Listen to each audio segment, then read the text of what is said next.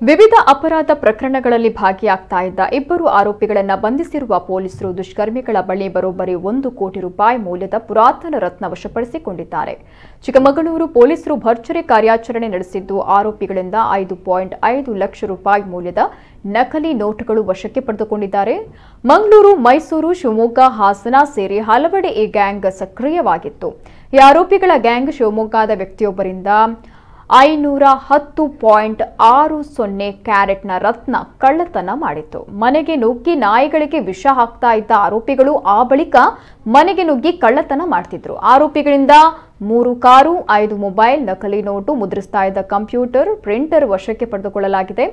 Chikkamagaluru CEN inspector Rakshith ಹಾಗೂ ತಂಡದಿಂದ ಕಾರ್ಯಾಚರಣೆ ನಡೆಸಲಾಗಿದ್ದು, ವಿಚಾರಣೆ ಸಂದರ್ಭದಲ್ಲಿ ಆರೋಪಿಗಳು ಕೇರಳದ ಹೈಟೆಕ್ ವೇಶ್ಯಾವಾಟಿಕೆ ದಂಧೆಯಲ್ಲೂ ಭಾಗಿಯಾಗಿ ಪೊಲೀಸರಿಂದ ತಲೆಮರೆಸಿಕೊಂಡಿದ್ದ ಮಾಹಿತಿ ಲಭ್ಯವಾಗಿದೆ.